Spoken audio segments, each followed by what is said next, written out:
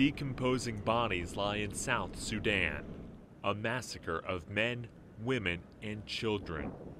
United Nations officials say rebel troops have slaughtered hundreds of civilians in the oil city of Bentiu. During the past few days, Bentiu was the scene of severe violence, very targeted, deliberate violence that uh, struck individuals of certain identities. And I think that uh, what I've so far seen in the mosque and in other parts of town has really been very, very heart wrenching. Uh, certainly, atrocities have been committed here on a very significant scale. More than a million people have fled their homes since fighting erupted in December. The conflict pits troops backing President Salva Kiir against soldiers loyal to his sacked Vice President Riek Machar.